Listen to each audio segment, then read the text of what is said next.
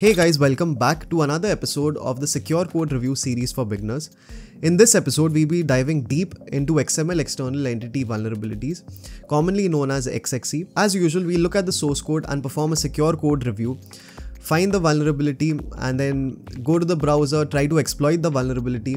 And at the end, most importantly, we look at how to fix these kind of vulnerabilities in Python. So let's get started. So I have in front of me a Python web application using Flask. Inside the code, we are using the LXML library to parse XML data. The important function over here is the parse underscore XML function, which is routed to the slash parse endpoint, which makes a post request. This is the area where the XML data will be processed. On line 9, we read the XML data which is received uh, from the post request and from line 11 we've basically written the logic to parse XML data which we received uh, in the post request. If you focus on line 13, the key issue in the etree.xml parser is the resolve underscore entities function which we've set to true which will allow the parser to process external entities, which makes it vulnerable to XXE attacks. After that, we are basically converting the XML data to a string and returning the string output. Now let's try to run this web application and try to exploit it. So we type python 3 and xxe.py we go to our browser and go to the slash parse endpoint and hit enter. You'll immediately notice that we get a method not allowed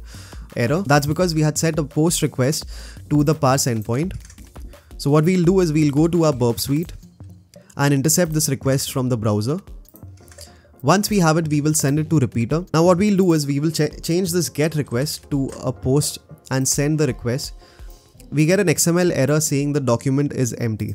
That's good news for us because now if we are an attacker, we know that the, there is XML data which is being passed at the backend. Now I'll use a very simple XXE payload to read the content of etc password file. So we make the first standard XML declaration. After that, we define a doc type which reads an external entity XXE, which basically reads the contents of the etc password file. Finally, we will use the XXE entity over here in the XML content. Now what we'll do is we will send this request. We see that this payload has worked and we have retrieved the contents of the slash etc password file. After we executed this payload, it resulted in the server reading and printing the contents of the etc password file in the response, which is a very critical vulnerability. Now we'll go back to the source code. Now if you're doing a secure code review assessment for a code base and if Python language is used, what we need to keep in mind while searching for XXE vulnerabilities, you need to look at instances where XML data is being parsed. Pay close attention to modules which are being used. So over here we've used LXML module. There could also be the xml.etree.element or any kind of third party XML parsers which are used in the code. After we've identified this, we also need to look at the code and dive deep to understand if uh, external entities are being specifically allowed or if they are not specifically allowed, are they uh, by default enabled.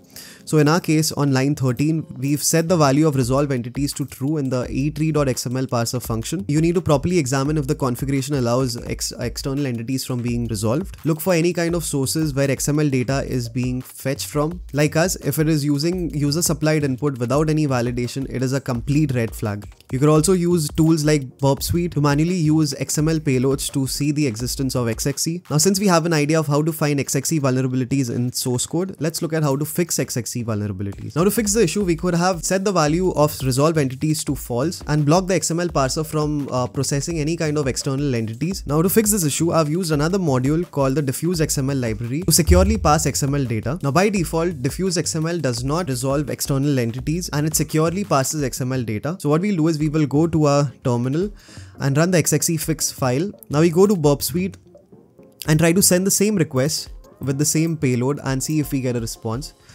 We notice that defusedxml does not give us back the content of etc password file. It says it was forbidden because it was an external entity. To summarize, we simply use the defusedxml library in this piece of code which securely passes XML data and prevents any kind of XXE attacks by disabling external entity resolution. Now to go over everything, we saw a vulnerable Python code which introduces the XXE vulnerability. We exploited the vulnerability and then we saw how to identify XXE vulnerabilities in source code. We saw different techniques and methodologies we could use to identify this problem and towards the end we saw how to fix this vulnerability by using a secure XML parser. As usual if you like the video make sure you drop a like and hit the subscribe button. Also, do not forget to hit the bell icon uh, so that you do not miss the next episode, which hopefully comes out next Saturday. Thank you for watching. I'll see you in the next episode.